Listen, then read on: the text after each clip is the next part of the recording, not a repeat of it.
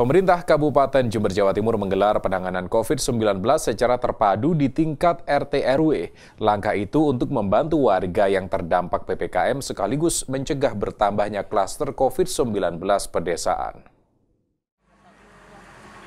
Penanganan COVID-19 secara terpadu, salah satunya digelar di Desa Kaliglagah, Kecamatan Sumber Baru, Kabupaten Jember pada Kamis siang. Kegiatan ini dipimpin langsung oleh Bupati Jember Hendi Siswanto. Kegiatan ini diawali dengan rapid test antigen kepada 50 warga yang mempunyai resiko tinggi, lalu vaksinasi kepada 300 warga. Pemerintah juga membagikan 1.000 masker, 1.000 paket sembako, dan bantuan langsung kepada 100 unit usaha mikro kecil menengah. Ada 1.000 paket sembako yang kita bagikan ke desa-desa.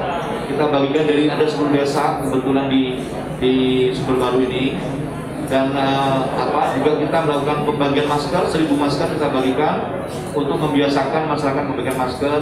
Yang terakhir kami menyapa uh, para pedagang-pedagang kaki lima pedagang UMKM yang ada di desa ini.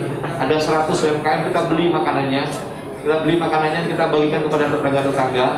Ini bagian untuk sedikit berbagi dari anggaran yang kita akan bagikan kepada semua desa yang ada di yang memang terdampak langsung.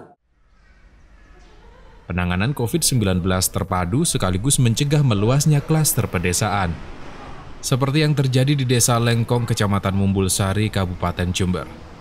Di desa ini, ada 15 warga terkonfirmasi positif COVID-19 dan lima orang di antaranya meninggal dunia, termasuk dua di antaranya adalah anggota Badan Permusyawaratan Desa.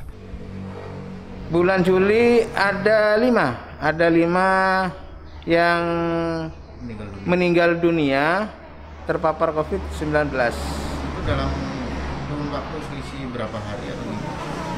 Selisihnya ini per minggu, terus ada yang satu minggu dua kali.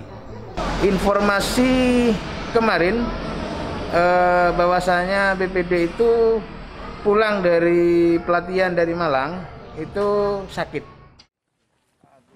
Penanganan COVID-19 terpadu akan terus digelar sebagai bentuk monitoring dan evaluasi pembatasan kegiatan masyarakat.